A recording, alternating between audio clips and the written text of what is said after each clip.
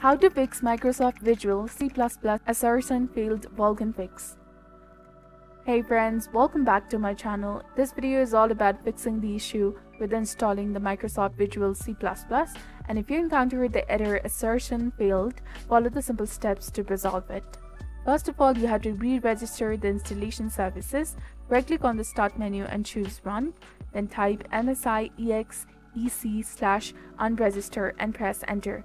Next, type msiexec slash register and press enter to re-register the installation service.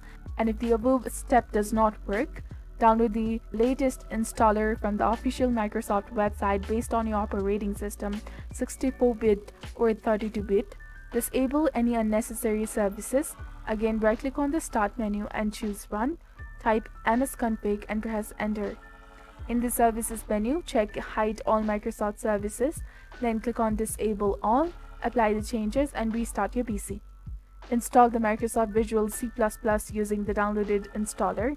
After installation, enable all the services in the services menu of the msconfig. and if the issue persists, use the Microsoft Visual C++ troubleshooter from the official website to diagnose and fix the problem. Uninstall all the versions of the Microsoft Visual C++ from the Add or Remove Programs section in your control panel and download the Microsoft Visual C++ all-in-one installer from the official website and install the relevant version based on your system type 32-bit or 64-bit.